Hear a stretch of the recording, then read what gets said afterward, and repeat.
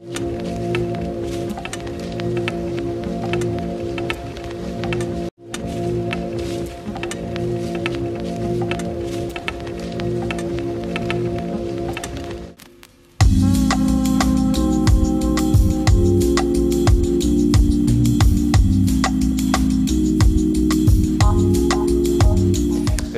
Čudovito Tjaš Rener v galeriji Ravne eh, je na ogled eh, tu v Naravnah.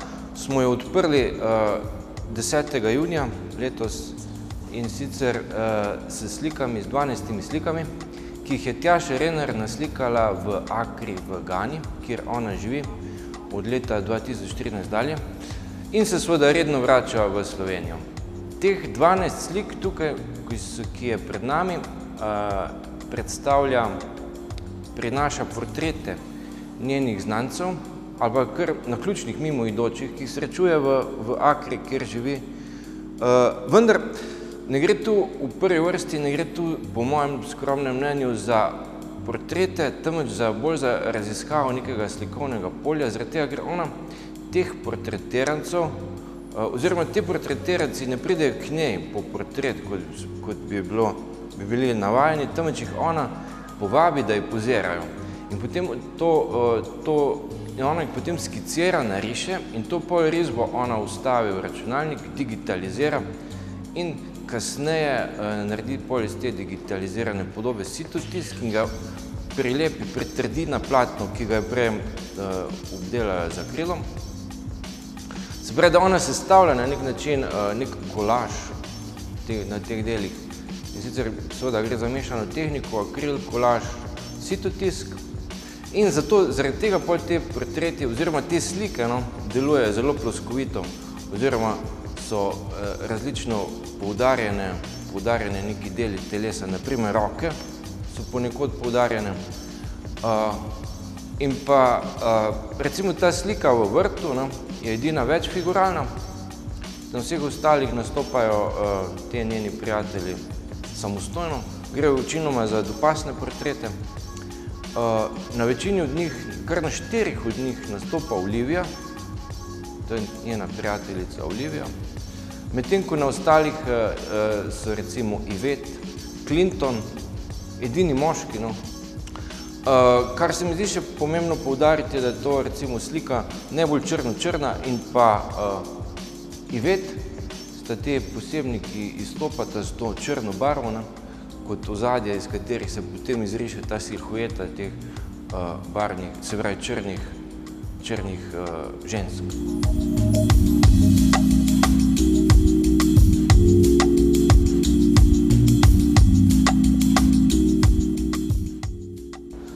Tjaša Rinar, kot rečeno, upodavlja uh, slika svoje prijatelje, znance, ne kot, eh, dejansko kot portret, vendar eh, jo bolj zanima, kot rečeno, sama slika, sam razvoj slikarskega polja.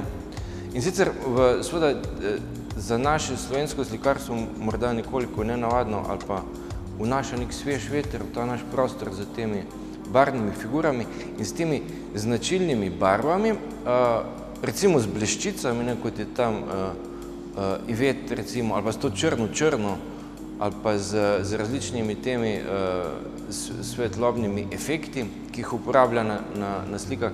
Ona pravi, da, da so to, jaz sicer ne poznam, žal, uh, sodobnega uh, slikarstva v Gani ali v Afriki nasploh. Uh, poznamo ga seveda bolj kot s temi evropskimi um, razstavami teh, teh umetnikov. Vendar pravi Tjaša, da, so, da je prav ta stil no, zdaj zelo v, v tam v Afriki, v Gani iz, iz, izjemno uh, sodobno oziroma izjemno popularno. Prav tako se pa dejansko navezuje z, tem, z temi vzorci no, blaga, s katerimi ki jih kot kolaž lepi na, na, na platno.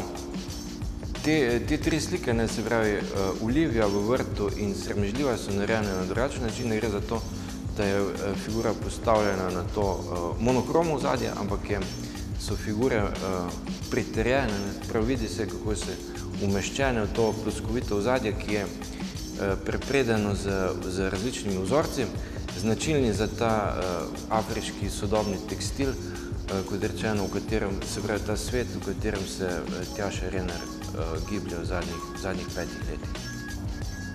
Se navezuje tudi na, ta, na to, to drugo področje, ki je zanima, se pravi ta, blago in oblikovanje tekstila, s katerim se tudi ukvarja.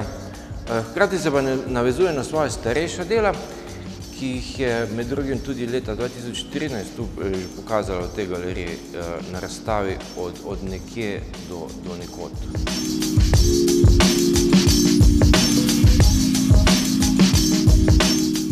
Kar je zanimivo, ne gre toliko za, za akt, ne, zaradi tega, ker so, kar je tudi izjemno zanimivo, da so vse figure so oblečene. Ne. Da spet uh, poudarja ne, ne toliko, uh, se pravi, poudarja to, to ploskovitost, ne, ne toliko uh, človeško telo, žensko telo, v tem primeru, ne, kot je rečeno, sem samo Clinton uh, moški.